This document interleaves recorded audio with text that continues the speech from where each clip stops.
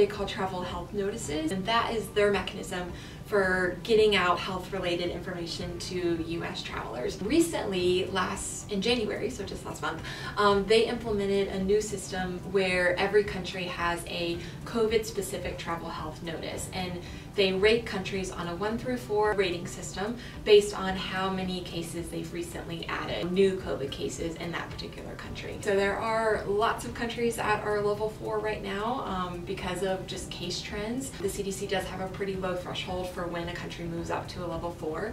Um, so USC certainly looks at that. We consider those ratings, but a CDC level four doesn't automatically mean that we're going to revoke approval for a travel experience as a State Department level four does. They're just different criteria, different systems.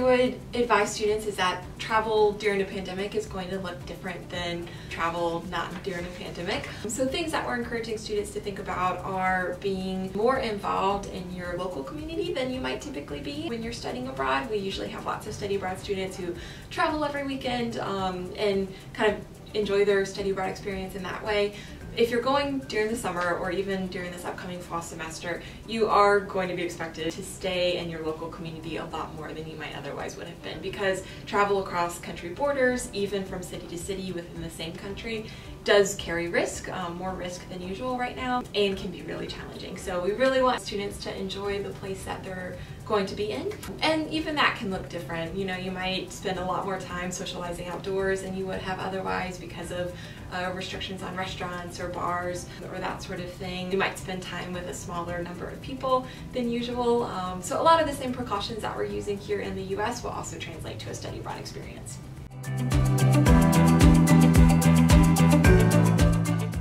USC study abroad students are required to have our International Emergency Medical Insurance Plan, and that provides coverage if you were to contract um, COVID and get sick and need hospital treatment or a doctor's care or that sort of thing. That is not a trip cancellation policy, but our program provider, our insurance provider, does have a trip cancellation policy that students can choose to purchase, and we're certainly encouraging students um, to think about purchasing that. That would reimburse you for program expenses if your program um, were to be canceled canceled or even shortened.